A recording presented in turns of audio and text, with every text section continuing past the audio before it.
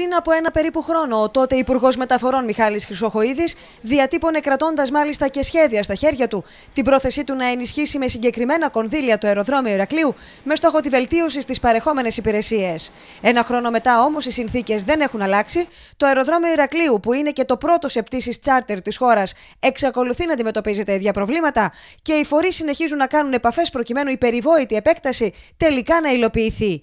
Κάτι που φαίνεται πλέον πιο πιθανό από ποτέ, όπως εκτιμούν οι φορείς που είχαν χθες συνάντηση στην Αθήνα με τον αρχηγό ΓΕΘΑ, ο οποίος δεσμεύτηκε να εξετάσει λεπτομερό το ζήτημα, έχοντας αρχικά θετική ανταπόκριση, ζητώντας παράλληλα να του σταλεί προσωπικά πλήρης φάκελος με όλα τα απαραίτητα στοιχεία και τη σχετική τεκμηρίωση από την Αντιδημαρχία Χωροταξικού Σχεδιασμού και Πολεοδομίας, σε στενή συνεργασία με την Υπηρεσία Πολιτικής Αεροπορίας για να κινήσει τις σχετικές διαδικασίες με τις αρμόδιες υπηρεσίες μέσα και όλες τις επόμενες ημέρες. Μας είπε ότι είναι θετικός, θεωρεί ότι δεν θα υπάρξει πρόβλημα για την παραχώρηση των συγκεκριμένων εκτάσεων. Επιφυλάχθηκε να δει κάθε λεπτομέρεια του ζητήματος όταν θα του στείλουμε ένα πλήρη φάκελο την ερχόμενη εβδομάδα. Αυτή η πρωτοβουλία της Περιφέρειας και του Δήμου είναι στο σωστό δρόμο, διότι κάποιος πρέπει να πάρει την πρωτοβουλία, θα έλεγα κυρίαρχα, να μπορέσει να ξεσηκώσει, αν θέλετε, όλους αυτούς τους φορείς, να προχωρήσουμε στην παραχώρηση χώρων γύρω από το αεροδρόμιο για να μπορέσουμε να δούμε να σχεδιάσουμε κάτι καλύτερο. Στη συνάντηση που είχαν ο Περιφερειάρχης, ο Δήμαρχος Ηρακλείου και ο αρμόδιος Αντιδήμαρχος,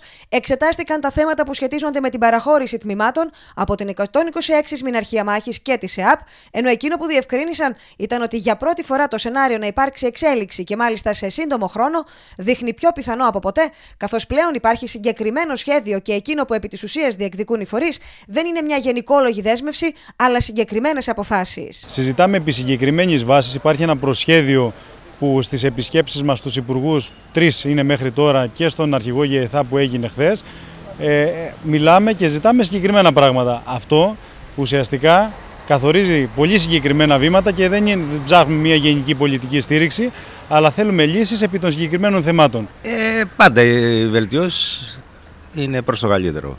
Έτσι. Και πάντα πρέπει να γίνονται βελτιώσεις.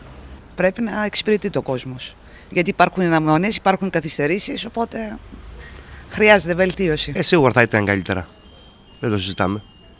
Πάρα πολλοί κόσμος ότι θα μπορούσαν να υπάρξουν βελτιώσεις ακόμη και εν ώψη της ερχόμενης τουριστικής περίοδου, εφόσον κινηθούν γρήγορα οι διαδικασίες, εξήγησε ο αερολιμενάρχης Ηρακλείου, με τους τουριστικούς παράγοντες πάντως, όπως εξηγούν, να κρατούν μικρό καλάθι, έχοντας λάβει μέχρι σήμερα σειρά δεσμεύσεων για ένα όπως χαρακτηρίζουν αυτονόητο έργο, το οποίο όμως έχει μείνει μέχρι σήμερα στα λόγια και τα ευχολόγια. Νομίζω ότι εάν το τρέξουμε γρήγορα, ε, θέλω να είμαι υπεραισιόδοξος, θα μπορούσαμε να προλάβουμε ενδεχομένως για τη φετινή σεζόν. Οι υποδομές είναι, θέλει πάρα πολλές, αλλά δεν νομίζω οι διάδρομοι να εξυπηρετούν την, την κίνηση η οποία υπάρχει στο αεροδρόμιο αυτό. Αν επεκταθεί θα είναι καλό για, το, για την κίνηση του αεροδρομίου. Πολύ καλό για να είναι αληθινό.